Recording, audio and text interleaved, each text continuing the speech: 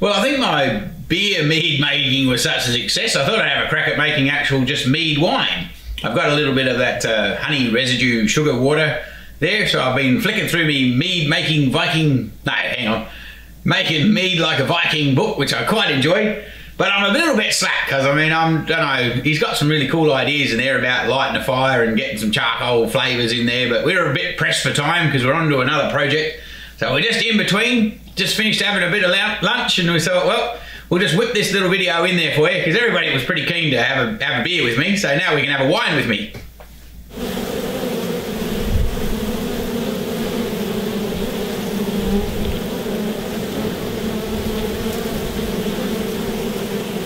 So this recipe calls for a few citrus notes. Now back in my chefing days, I remember you don't want to put the white pith from your lemons and oranges in, in anything because the pith is horrible crap. Makes everything go bitter and muck. So I'm going to just cut the skins off, put them in, hey, check this shit out. I bought my wife a new bowl. Now I'm going to actually put it to use in my own purpose, but still, I'm not as bad as you think.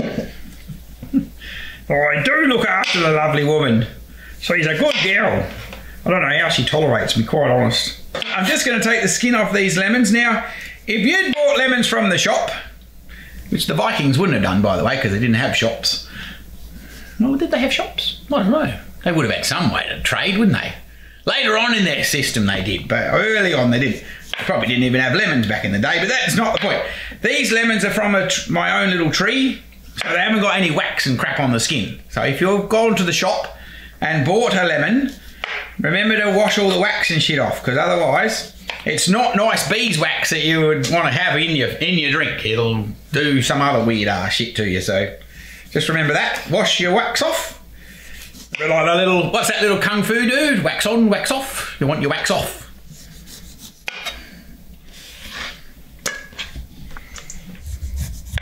So I've got a couple of oranges as well. I think I'm going to put the lemon juice in, but I'm not going to put the orange juice in because I figure we're sweet enough. Now, if you're wondering, that orange is actually overripe because it's an old Valencia variety. And when they get past ripe, not past ripe, but anyway, ripe enough, they go green again. So how crazy is that? They sort of go back, go backwards. It's a bit like me. I'm a bit backwards, but anyway.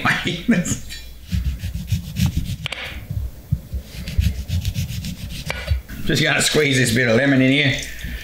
I don't know. I reckon it'd be nice a bit of lemon juice in there balance it up. There's not as much lemon, not just juice in these old lemons anyway. It's the wrong time of year here. They're sort of the mid, we call them the off, off-season lemons almost, but that's all right. They'll have a bit of flavour, bit of, put a bit of bit of twang in there. Then we want a bit of um, raisins in. I'm going to go out and get a bit of rosemary out of the herb garden and throw in here as well, I reckon. Maybe a bit of sage. Mm, sage might go nice, because sage, actually, that would be probably better. Sage and honey go together nicely I wonder if that'd go in the wine though. That'd be weird. Hey, I'll freak myself out. I could go and read my bloody book and find out what I'm supposed to put in this crap. we'll get the recipe because it says we're supposed to put some raisins in there, but I'm not sure if it was 20 or 12 or, or whatever. But it's more than two, I know that. So anyway, we'll just nip over and grab the book. Ah, yeah, gosh. Reckon me like a Viking. Mead making in the Viking age. This is the little, this is the caption Anyway, this dude's pretty cool. I like it. He's reckon it's approximately back around approximately 410 to 1066. The reason for this threefold thing, anyway. Okay, we've got basic mead recipes. That must be where we're up to. This is what I was looking for. Here we go. We got mead for a lazy or impatient Viking. I reckon that's me. I'm pretty lazy and impatient. So it would appear to me and we have to get a couple of tea bags because this is only, what do we got? A four litre recipe. So we're going to do 20 litres because, you know, might as well, might as well make a decent effort. Sorry, Mr. Book Writer of the Mead thing. I'm not the best with recipes. But I'm enjoying your book though.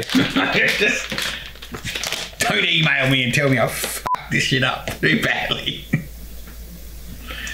Oh, three, four, five. Does it really matter, you reckon? I don't know. Oh, fucking eight, nine, ten, oh, fucking, I don't know, 20, that'll do. Close enough. God, and one for good luck. Hey, if you were in prison, if you were in prison, you could make, make alcohol just out of a bag of raisins, can't you? Or a bag of sultanas or some crap. I reckon they used to just put them in their socks. In a bucket or some crap. In In, a bucket. toilet. In the toilet? In a sock in a toilet. Get out of town. nah. toilet wine. Toilet wine.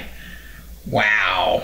Now, back to my point when I was making the beer. How f***ed up are we humans, honestly? I'm not sure. I suppose if I was locked up in jail, I'd make, make some toilet wine. Any ex criminals out there that happen to be watching our show, don't hesitate to text me and tell me what toilet wine tastes like because I'm not going to make any. Not happening, but I wouldn't mind hearing from you as to how the toilet wine turned out.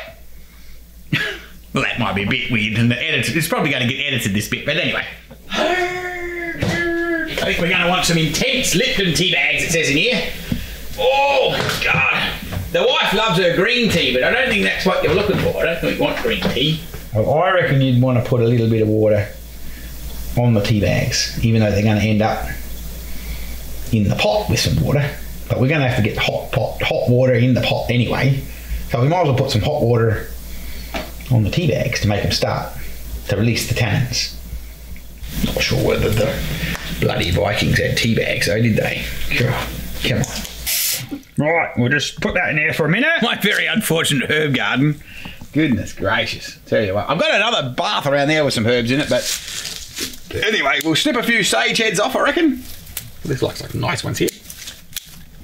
Smells pretty. Mm. Woo, hell. That'll give it a bit of a kick. Where are we going to go? Some of this stuff? I don't know. Through here somewhere?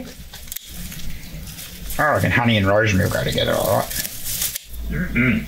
Throw that in the pot. Get a bit of flavour happening. Throw that in there for now. I reckon we're to bring the tea bags in that. We've got the raisins. We've got the peel. We've got honey out in the other room. So we're going... I think it'll be easy. We'll tip that shit in that room and then we'll take it down the cellar so it can do its thing. I'm not sure what sequence this is playing in, but if we're lucky, you've actually seen us do the wax through the Hessian sack and in the saucepan and we melted it in the saucepan. And this stuff here is, I guess you'd call it the wash because it's the it's the basically the honey that was in that honeycomb that didn't run out and it was very quite sweet. And I thought, well, this might be perfect. This is almost what they, um, you know, what our Norwegian brothers would have used. Oh, smells like a bit of dangerous crap in here.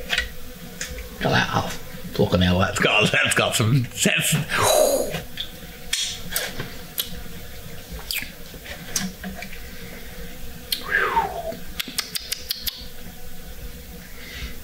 Is be good. Tip our little bit of extras in. See if we can't get a bit of extra flavour happening. Now, I think the raisins are meant to help feed the yeast. I think that's what the go is. Right, here we go. Let's take this down to the place where it all happens. I don't know whether these stairs would be would they? Goodness gracious.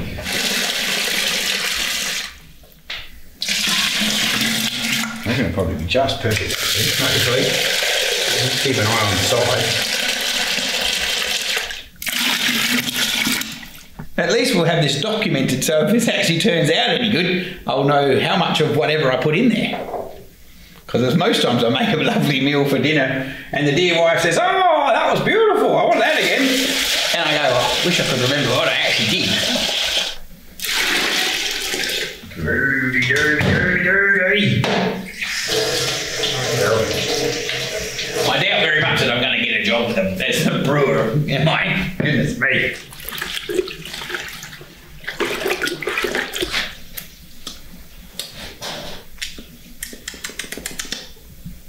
Hmm. It's got potential. Oh, boy, oh boy, oh boy, oh boy, boy, boy. Oh, man. So we'll just give that a little stir and then we'll put the lid on and the little airlock and it shall be tickety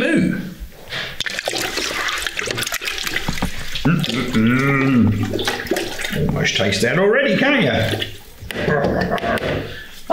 brilliant. I wonder how long it's. I suppose you just can't leave it there until it stops bubbling. That's what I normally do when I'm brewing. Pop our lid on. So obviously I've said that before. This is just your airlock, so the it's called a sealed fermentation. So you can't get any wrong yeasts in there. We'll let that sit down here for a week or maybe two weeks. I don't know. Depends on that goes on. And then at the moment, hey, the upside of this little project is I've got to collect wine bottles to put this jolly wine in, so that's a bit of a shame, isn't it? I have to drink a little bit extra during the week. The process of our mead is getting along. We're making our honey, we're making some nice sweet mead this time. This is um, just going to decanter it so it can chill out a little bit before we bottle it next week. So we thought we'd show you that piece of this excitement. Just wondering if I've got a glass down here to give it a try. I might have to go. Oh yeah, I can see one behind the beer tin. We're going to give it a try. Give it a little taste test. Anyway, we'll just take our plug out. She's looking a bit dark, but. And we're just going to stick it into a different tub, but I was just looking at my other tub. I think I'm going to give that a bit of a rinse out. Because I do have another, oh, I know where my other other proper brew pot's up in the blooming outside room full of honey waiting to make a kick-ass dry mix of this mead madness. I think we better have a taste of this crap and see what it tastes like. Let's see what we've got in here, shall we?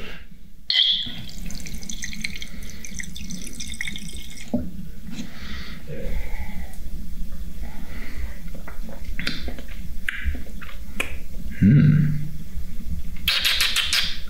It's very nice and sweet. The wife won't like that because she likes her wine a bit dry, so that'll be the next one we make. But I don't mind. I mean, bit of don't have to, you know, how you mix bourbon and lemonade. This way you can just make your own without mixing it with anything.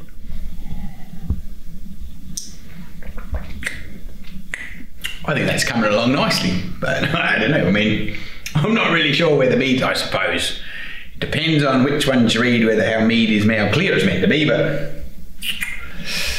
Anyway, that's why we're going to decanter it so it can actually have a little bit of time to chill out in a different pot. And then we'll come back and hopefully it'll be a bit clearer. Then I'm assuming when it sits in the bottle, all the stuff will set to the bottom and you'll have a bit clearer drink. But if not, it'll be dark, sweet mead wine. ah. That looks really bloody safe, doesn't it? Alright, put a bit of this in here. I've changed my mind because the thing is, you don't want to get too much air in that pot because then it could sour the wine. So I'm going to rinse a hose off and stick a hose on this and decanter it that way. So it's the wrong pot. I will get my siphon hose and we'll use that. okay, so anyway, you don't want to get too much air in your bottom pot. So you want to just uh, okay. Uh, oh. So hopefully it doesn't all end up on the floor, otherwise that'll be sad. The reason we're transferring this into this pot is because in here you've got all the sediment and all the stuff and all the crap that's in the bottom of this pot. And so if we take that off and we put it in here, then that will calm down and settle a little bit and some of the more of the crap can sit under the tap. And so when we take the mead off and bottle it, it won't have so much sediment in it. If you were really fancy, you could have yourself a little spin sieve thingamajig like they do at the wineries, but of course, you know, we're in the bush bee man cellar, let's not get carried away.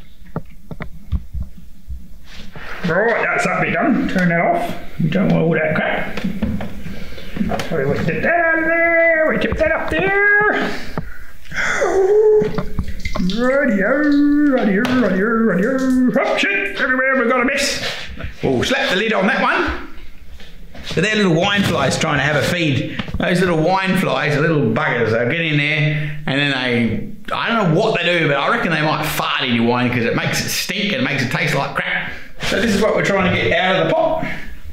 So if you have a look in here, these are the bits of extras that we added. A bit of thyme and a bit of lemon and a few bits and pieces of citrus to give it a bit of zick. So we'll get rid of that. We'll go and wash that one out. And then I'll be able to start my other one that I'm doing. And we'll put that up on the thing. Oh, God. Put our little air seal back in so to keep the wine flies out. And now the other naughtinesses. Look at them all, little beasties.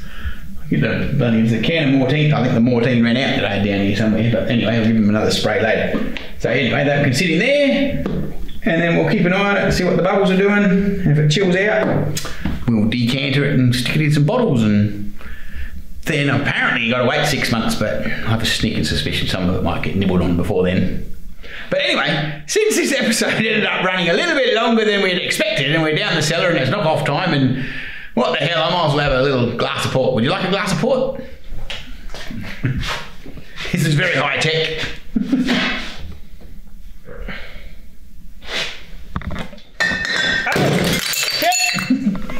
oh my god.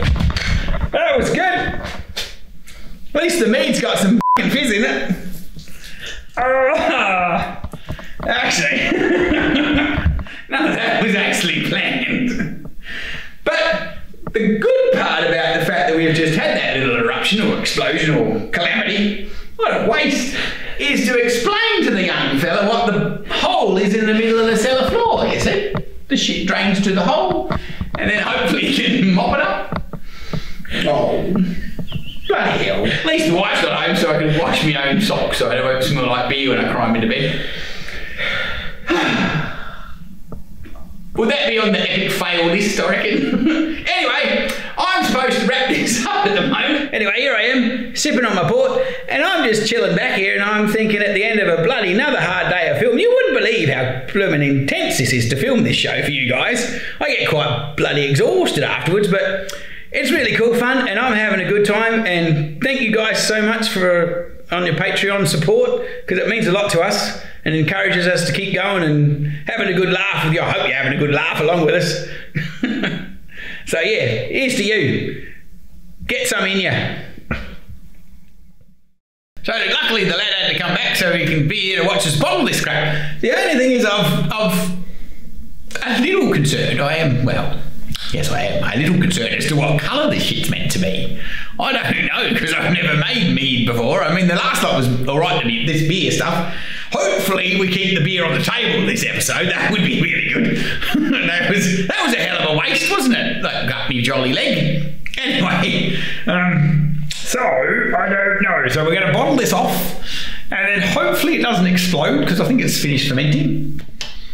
So I've got me got me painted beer bottle. This is actually me beer bottle drying rack. So I've got me hot water. I rinse the rinse the bottles out and give them a clean, and then I've got this cool rack that I made up so they can drip dry. So they're nice and dry and clean. And I'm pretty sure this was an old window that I just nailed some jolly um, weld mesh in to make a rack. That idea came because I got a really good mate, a really good mate of mine, and he's a home brewer like mad. And down his old cellar, when he had an old farm, he's moved into town now, but he had this old farm, he had this old cellar, and for his drying rack, he had an old bed. So he had an old wire bed. You probably, if you're young enough, you wouldn't know, but the old beds, they used to have a wire base underneath the mattress. So he chucked the mattress down the fire pit, and he had the beer bottles all on the bed base. And I thought that was pretty bloody groovy, so it could drip dry. I didn't have enough room for a whole bed down here, so I just made up a little one out of this, and it, and it works quite good. Someone out there in mead making land's going to write in and say, that shit's not meant to be brown. What the hell have you done? it's interesting the amount of experts we have in all this sort of stuff. It's kind of groovy. I don't know how many do we need. I don't know. Oh, God. I was just thinking, now that we've got ourselves organised and got a clothing range, bloke should have got organised and had a Bush Bee Man label for his bottles. That'll be the next thing, won't it? But you know what would be the problem with that idea? You'd have to peel the blooming labels off the bottles in the first place. But that might be just way too much effort. I suppose you could stick it over the top. But anyway, I reckon we're going to find out whether the stuff's any good before we bother about making a wine label. Here we go. Oh, we better take the airlock off. Oh shit, where's the lids? I had the lids. I had the lids somewhere. Where did they go? Oh, hang on. I'll just get the lids, folks.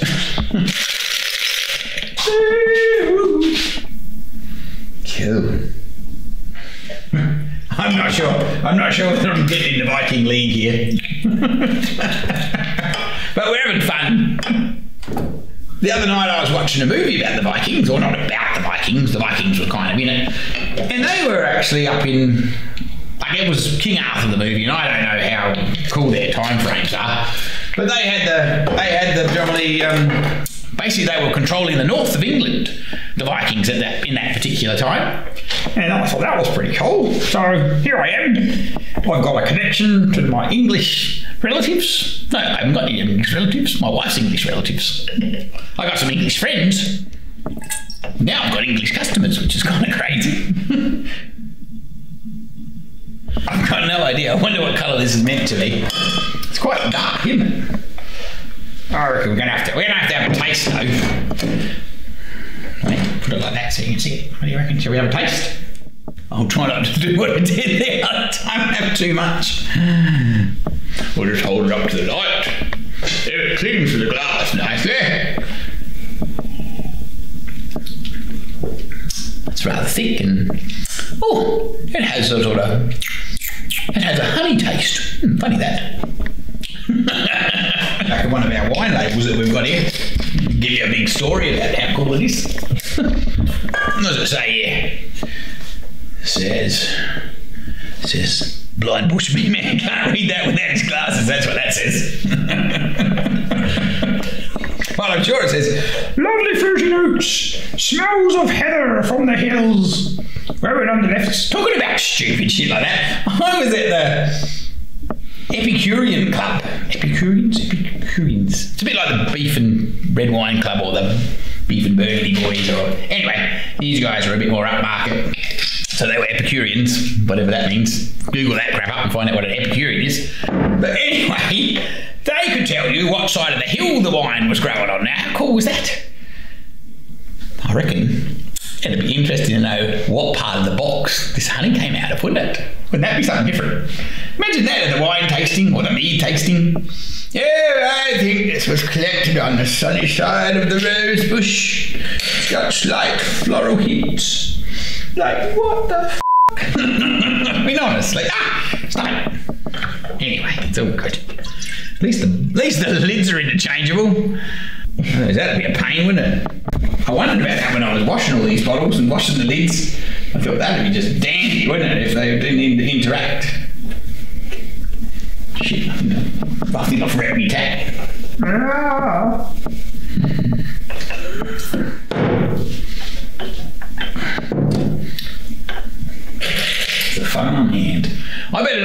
this new jumper dirty before the wife gets home. I'll be in deep shit. They'll be like, what the hell? Down there with your bloody new clothes on. Good God. Hell, that looks like a party. Oh shit, you guys are still here, aren't you? hey, we should wrap this episode up. Well, before I go and rinse my pot out, I thought I might just have a little relaxation here and wrap this up. I was just thinking, um, yeah, it's interesting the circle of life, isn't it? The other, oh, well, I don't know. It was a while ago, but not well, not so long ago. Uh, when my best friend's father passed away, and I went along to the funeral. And that's, you know, well, I was, well, I don't know. I hope this isn't going to be a downer for our show, but it's interesting because I was, we went along and, you know, they have the nice, normal talks and the usual stuff that happens at funerals. I mean, they're always slightly different. But at the end of the funeral, they were basically, when they were taking my mate's dad to the hearse, they had this really cool song. I'd never heard this song before. I, it was, um, what was it called? It was, I'm going to say it in their dialect, but it was on Lockley Moor without bat, which was basically on Lockley Moor without hat. And I had never heard this. And I mean, my um, family, my mate's family, was from Yorkshire. And I think this is the Yorkshire national anthem, for what I can gather. And it's really cool because it's the whole song is about this dude. He's on Lockley Moor with his girlfriend. I'm not sure whether he's up to mischief, like because there's a few versions. You should go on, on the internet and check their songs out. It's kind of cool. there's a few versions of it. Anyway, he's on Lockley Moor without his hat, and his mates are telling him you're gonna you're gonna die out there without your hat because that bloody cold. So he goes out there, and then he does pass away and dies, and so they bury him on the moor, and it's so Lockley Moor. We buried you on the on the moor, and I'm going to do it. Um, as I've stated before on this show, I am the worst world's worst singer. I mean, when I was in Sunday school, the school teacher used to tell me that I had to mime. And then when I sucked at miming, she said you had to go up the top of the blooming balcony and hold the light, hold the blooming words up. That was my job. That's how good a singer I am. So I'm not going to sing it. But the men, mainly the men, well, the ladies would have been too, but the men that were singing on Lockley Moor without their hat or Lockley Moor without that, they were singing it with such gusto, it was awesome. And I'm like going, I was just taken away with it. It was really cool. Anyway, sorry, I digress. He passes away, they bury him on the moor, and then along comes some worms and dig him up, or eat him up. They ate the worms come and ate you. Yeah, I think the it goes. The worms come and ate you on, on, on the night. And then along comes some ducks and ate up the worms, which is fairly logical. And then along comes us and ate up the ducks. So obviously they went out duck shoot and ate the ducks. And then the end of the deal is, so now you're in us. And I thought, what a circle of life. How cool is that? Anyway, I shout out to the Yorkshire folk. I reckon you had that shit down. So I hope my good mate knows that I I'm thinking of thinking of him and his dad and his mum and his family and all of that crap that goes on. But yeah, we're all in a circle of life, aren't we? So food for worms, I guess. Is that the saying?